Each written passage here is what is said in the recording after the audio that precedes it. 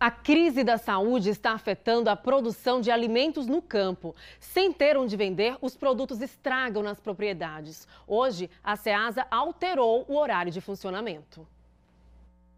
Os comerciantes abriram as bancas na SEASA às 5 e meia da manhã. Mas logo circulou a determinação com um novo horário para o fechamento da central de abastecimento, que deve funcionar até uma e meia da tarde. Cai o movimento um pouco, né? Mas graças a Deus quem está vindo para aqui está vindo para comprar, entendeu? Por vem, compra, sai.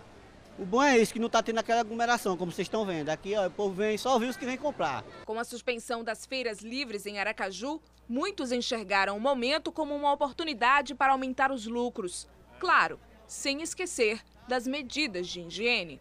Álcool gel, eu tenho aqui 70.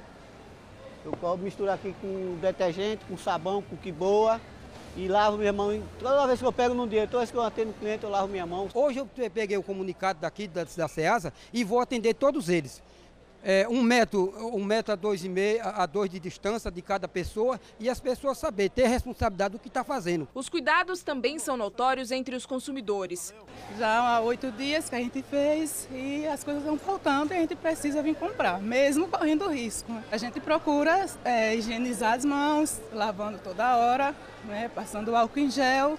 Quando chega em casa, lava as frutas e verduras, que dá para higienizar, a gente higieniza e guarda. Tem que se precaver, né? Então, quando a gente está nesse período de quarentena, sair de casa sempre tem que estar tá com precaução e sair com a máscara para se proteger. Né? O problema agora é com o preço dos produtos. É tudo caro, minha irmã. Olha aqui, olha.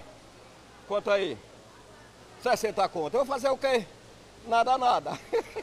é brincadeira.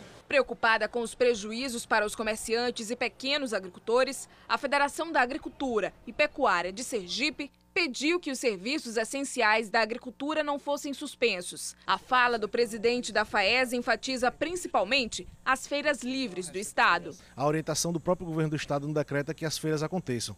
A gente sabe que alguns prefeitos do interior, eles não estão respeitando isso e não deixando que as feiras aconteçam. Né? Nós emitimos uma carta pública onde pedimos aos prefeitos que eles deixem essas feiras transcorrer normalmente, justamente para o pequeno produtor ter onde escoar sua produção, né? o próprio feirante ter a sua renda e, além disso, não concentrarmos tudo na questão só dos supermercados. Conclamamos também a Prefeitura de Aracaju a reabrir as feiras do município de Aracaju. Também sabemos da importância que essas feiras têm para todo o município.